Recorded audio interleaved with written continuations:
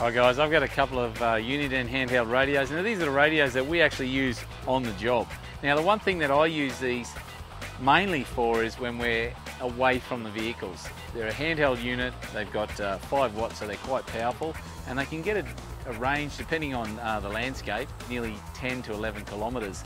Now the beauty of these is they're lightweight, they're small and they're compact. They're also extremely tough. How tough are they? Well, let's find out. Ouch. She's back on.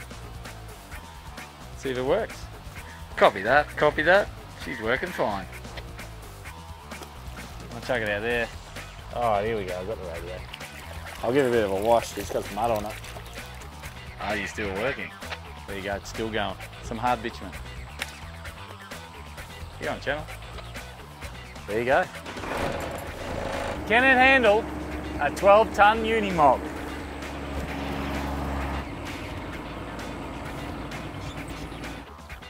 She's in the grass a little bit, but it doesn't look real flash. You get it away a bit, it is still working. Well, there you go. 12 ton Unimog, just driven over my handheld radio, and it still works. You gotta love it.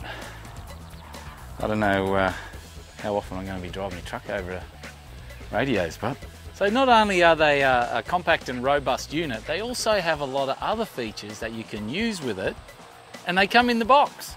So first of all, there's this thing here. Now the reason for this thing is it converts your handheld into something that's a bit more sort of in car. You can grab this unit here. Now that's a plug-in aerial and there's a little magnetic base.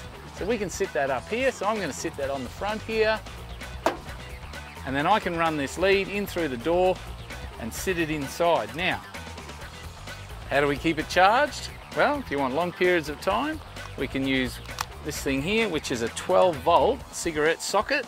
So that'll charge it, will keep it um, fully plugged into power the whole time that you're using it in car. Then the other thing that is very, very cool, I reckon, and that's the handheld unit. So that now effectively has been turned into an in-car unit. So before it was a handheld compact unit, and now it's fully set up to go in car and it works exactly like a normal radio that you would have in your car, like that one there. You got a copy, mate? Yeah, that works perfectly.